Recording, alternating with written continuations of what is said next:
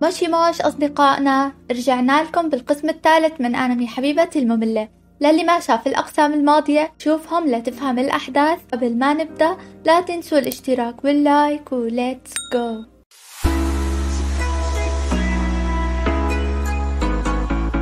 سومرا استدعت تومويا وطلبت منه يساعدها لأنه تأخرت بالبدء برسم لشغلها الثاني. سبب المهمات اللي كلفها فيهم ورسم كاتو وبيكون بدها يساعدها بأفكار لرسم قصة عن موشو الثلج أنمي حضره ونصحهم فيه. تحكي له إنه رح يمثلوا مع بعض القصة لتاخد أفكار عن الشخصيات وتقدر تعبر عنهم بالرسم. فبينجزوا هالاثنين المهمة بعد تعب وبيروحوا تاني يوم للمدرسة وبيلاقي تومويا كاتو مغيرة تسريحة شعرها. وبيعطيها محاضرة كل الطريق عن إنه البطلة ما لازم تغير تسريحة شعرها لأنه ممكن المشاهدين ما يحبوا هالشي. وهي كالعادة بتكون مو فاهمة أي كلمة من اللي بيحكي وبيمرقوا من جنب سمرة اللي بتسمعهم وبتركز معهم بالمحادثة أكتر من اللي معها.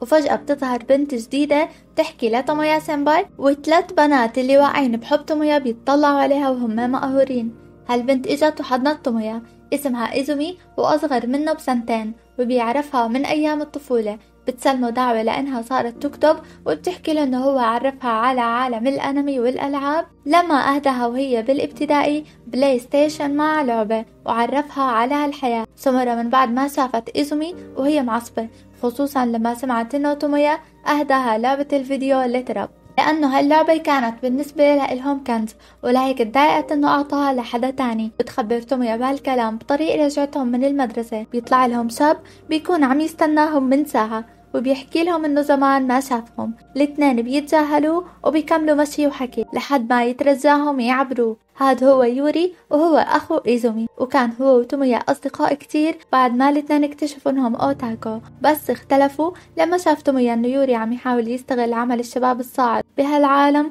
ليصعد معهم بدون بذل جهد. يوري بيورجيهم بطاقته الحالية وهو بيشتغل عند شركة عملاقة اسمها روجن روج وهي مشهورة خصوصا من مالكتها أكنة بيعرض على سومرا وظيفة عندهم وبيحكي لهم إنه بيعرف عن حقيقة شغلهم وشخصياتهم. بيعرف إنه تومويا عم يشتغل على لعبة وعم تساعده فيها سمرة. وبالصدفة هم كمان عم يشتغلوا على شي مثلها. هالفرصة حتكون كتير كبيرة لسمرة.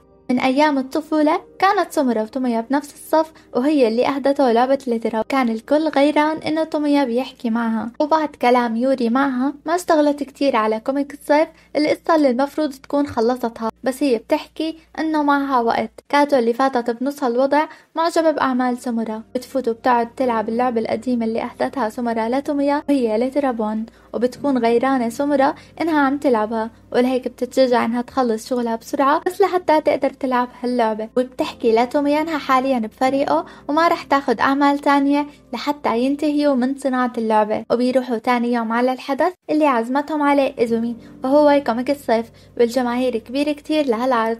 بيساعدوها بتجهيز الطاولة لعرض كتابها. بيقعد توميا يقرأ كتابتها للمانجا وبينصدم من جمال الرسم والقصة. وبعد ما تعجبه بيحكي لهم إنه رح يضمن بيعها كلها وبياخد صفحة منها صورها صورة كبيرة وبيجيبها ليعرضها على لوحة. تنحرج إيزومي وبتخاف إنه ما تعجب الناس.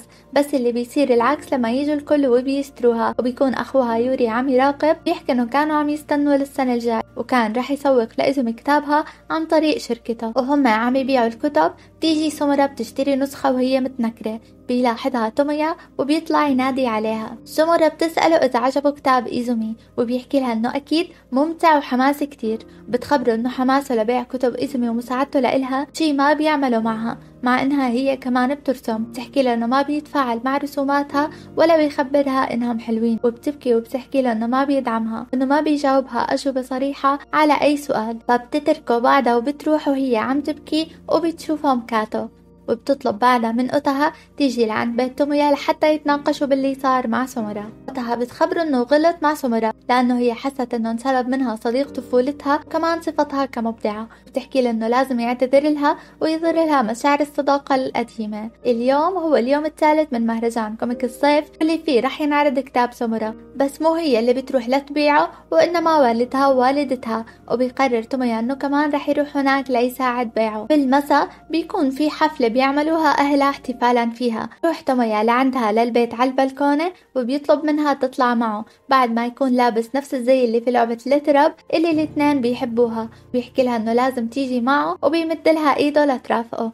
هالخطة كانت من تخطيطهم امبارح مع أوتها وكاتو وهيك بيحفزوا ذكرياتها القديمة وطفولتها معه وبتقتنع إنها تصالحه. سمورة بتروح معه وبياخدها على مبنى المدرسة القديم وبتحكي له إنه فات الأوان على المصالحة وإنه صار في دم إيزومي عندهم بالفريق وهي رح تنسحب. بس توميا بيحكي لها إنه هو معصب ومتضايق منها من زمان كتير وهي اللي دارت وجهها عنه بالأول بالطفولة. مثل ما حكينا كانوا هدول الاثنين أصدقاء طفولة. والكل غيران منه لأنه مع أجمل بنت بالمدرسة. وبيوم لما يفوتوا على الصف بيلاقوهم كاتبين على اللوح عنهم كلام سيء ومتنمرين عليهم. توميا بوقتها بيروح ليتخانق معهم. وسمرة بتقرر إنه بعدها تتظاهر انها بطلت تحب هالألعاب لحتى يضل لها رفقات وما يتنمروا عليها. ولهيك تم يعتبر هالشي خيانة لأنه تقاتل مع رفقاته الأولاد وما ضل له أي حدا حتى سمرة اللي كانت بالنسبة له كل شي بالطفولة. وبيحكي لها إنه بعد مرور 8 سنوات ما رح ينسى إنه عملت هيك معه وبيطلب منها تعتذر له. هي بتبكي وبتحكي له إنه ما رح تعتذر له ابدا لأنها كانت هي كمان بتعاني كتير وكل وقتها كانت تبكي بالطفولة لأنه بدها تحكي معه وما كانت تقدر. وبترجع تخبره إنه فضل كتاب ايزومي على كتابها. تومويا بيحكي لها إنه كتاب إيزومي أفضل وإنه هو حر بشو رح يعجبه أو لا.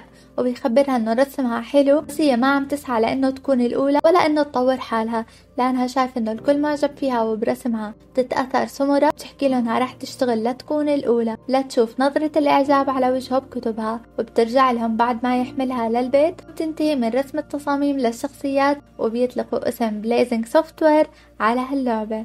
وبهيك بنكون وصلنا لنهاية القسم الثالث.